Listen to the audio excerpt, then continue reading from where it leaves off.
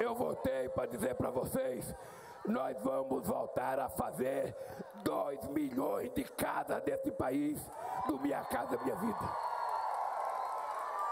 Eu voltei para dizer no estado do Amazonas, nós vamos fazer energia para 150 mil pessoas que ainda não têm energia. No outro governo, nós fizemos energia para 16 milhões de pessoas. Só é contra o Luz para Todos quem não sabe o que é trabalhar com candeeiro, quem não sentiu a fumaça do querosene no nosso nariz. Quem gosta disso pode ser alguém que venda óleo disso, mas o povo quer luz.